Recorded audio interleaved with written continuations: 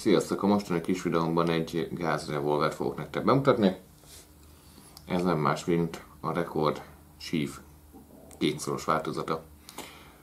Mit tudunk erről a modellről, inkább a gyártójáról. Régen ugye a Röner SM Sportwaffenfabrik készítette, mint GmbH. Ez ugye tönkrement a 90-es évek végén, majd utána vásárolta fel a Record. Hát nézzük, mi van ebbe a kis tokba. Nem tudom, gázpisztolyra lehet-e mondani gázrevolverről Snubby. Nekem mondjuk ez az elnevezés tetszik, ezt inkább az éles revolvereknél szokták alkalmazni. Ha lehet, akkor én ezt itt is használnám. A fegyver az így néz ki. Egyébként készül azt hiszem háromszoros csőhozban is, de ugye igény merült fel arra, hogy hát egy rövidebb csőhosszúságú fegyvert készítsenek el, így elkészítette ezt a rekord. A fegyver 9 mm-es R knall kaliberű,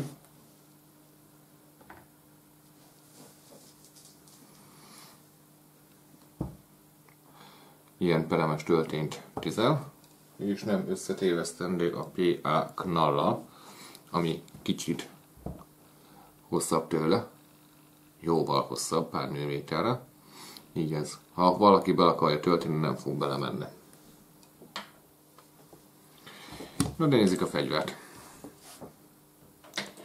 A fegyver repülőtőszeges, passzív ütészetbiztosítással van ellátva. Nyitása koltrendszerű. Ezt hátrahúzod, kibillented a dobot. Dobjába 6 darab csé vagy riasztó töltény fér. Ejektorút hátranyolásával a üves töltényhüvelyek egyidejűleg kiüríthetők, szóval nem kell vele így szórakozni, szépen megnyomod és kiveti az egészet. Ezt be is fogom nektek mutatni. Nézzük mi, miből is készült ebből a fegyverem, mert ugye mindenkit érdekel az, hogy hát mennyi acél van benne. Németekről tudjuk, hogy az igényesebb német fegyvergyártók, azok próbálnak olyan próbálnak acélokat beépíteni a fegyverekbe, a célbetéteket.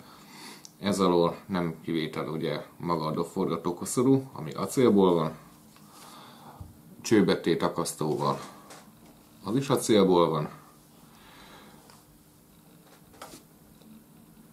A 10 fal betétje acélból van, ütőszegje ugyanúgy acélból van passzív biztosításos, ami ugye annyit jelent, hogy ha a kakas le van engedve, akkor nem engedi rácsapni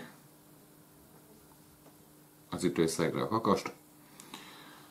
Másabb fajta modelleken, ugye török modellen, magyar modellen, nem csak a magyar modellen ugyanaz a fajta rendszer van, mint a Colté. A török modellen pedig egy ütés átadó kar van, ezt láthatjuk egyébként a, a RÖM RG 59-esen, 89-esen.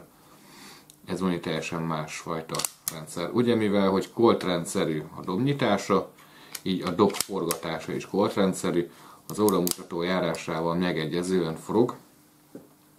Nekem sokkal jobban tetszik egyébként, mint a Smith Wesson rendszerű, mivel a Smith, Smith rendszernél ugye ezt benyomod, és akkor úgy lehet a dobot kifordítani, viszont a dobforgatása az óramutató járásának ellentétes irányában történik. Versenytársai közül szerintem ez a kis revolver verhetetlen, ergonómiai szempontból is lehet itt ergonómiát figyelembe venni, ugyanis a markolata az egy egészen elfogadható kis kombat markolat, a kezem teljesen végig ér rajta, kényelmesen a összes ujjal felfekszik a markolatra, ellenben a kétszoros Zalaki R1-essel, aminek a markolata az idáig ér, sokkal kisebb a markolat, ezáltal, mikor én ezt a fegyvert megnéztem, kipróbálom megnéztem egy R1-est is, a kis ujjam az szószoros értelemben lelógott a markolatról. Önvédekezés szempontjából, mivel a revolvernek nagyobb hátrúgása van, mint egy öntöltőnek, így nem mindegy, hogy mégis hogyan tudod megtartani a fegyvert. Másik jó dolog, a török modellekkel és más német modellekkel szemben az irányzékok. lehet látni, hogy az irányzék az nem olyan nagy, de mégis van rajta. Így ruházatban nehezebben fog elakadni. És ugye a, az alakikon rászerelt irányzék van, ami könnyen letörhet. Ez nem fog letörni, ugyanis ez a tokanyagával van egybeöntve.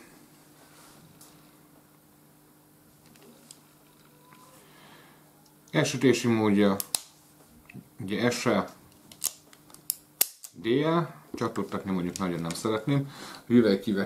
Hüvelkivetés az ugye egyidejűleg történik. Ugye levéseket nem fogok tudni vele leadni, mert lakásban vagyok. Majd előtéri videó is fog születni a fegyverről.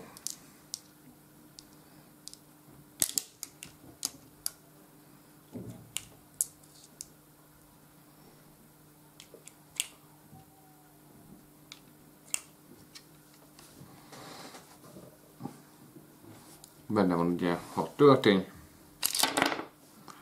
Így ki lehet üríteni. Jó, egy előtt töltényeknél kicsivel nagyobb erőt kell kifejteni, mert, mert hogyha szűkített végű és nem műanyag kupakos végű töltényeink vannak, akkor az kicsi szeret kitágulni, ez egy kicsit jobban oda kell nyomni neki.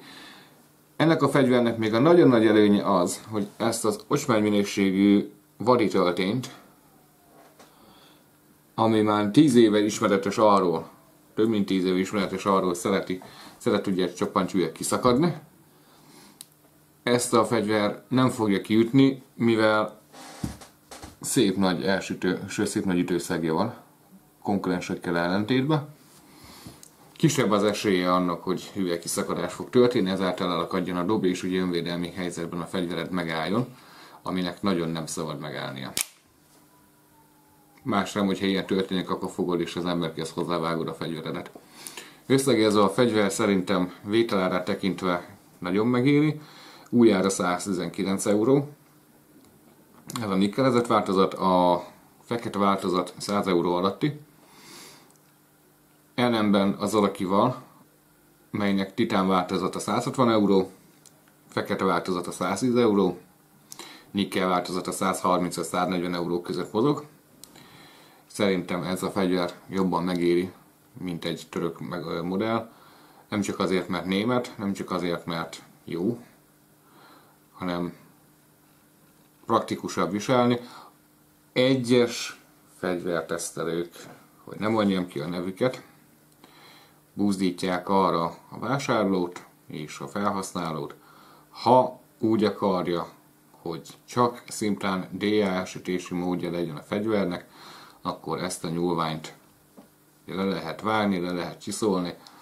Nem mondom, hogy nem jó, de mindig amellett kardoskodok és amellett tartok ki, hogy a fegyvernek a gyári alakját tartsuk meg, mert nem mindegy, hogyha véletlenül a fegyvered valami, mi a ott nem fogod tönkre megy, akkor bizony az a nyúlvány levágása már a garanciába bele fog szólni.